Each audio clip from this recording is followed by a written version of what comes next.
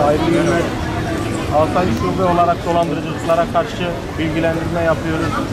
Araç alıp satırken kesinlikle noterlerde araç sahibi haricinde başkasının hesabına para EFT yapmıyorsunuz. Kesinlikle alıcı ile satıcı kendi hesabına para gönderiyor. Bu şekilde bilginiz olsun. Tamam abi.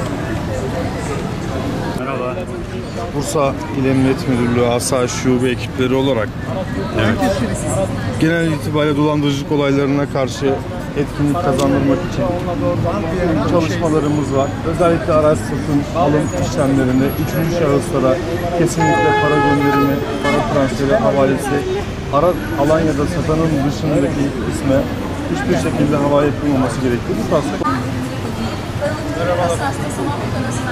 Sayın Emniyet Müdürlüğü olarak biz teşekkür ederiz. Sağ olun.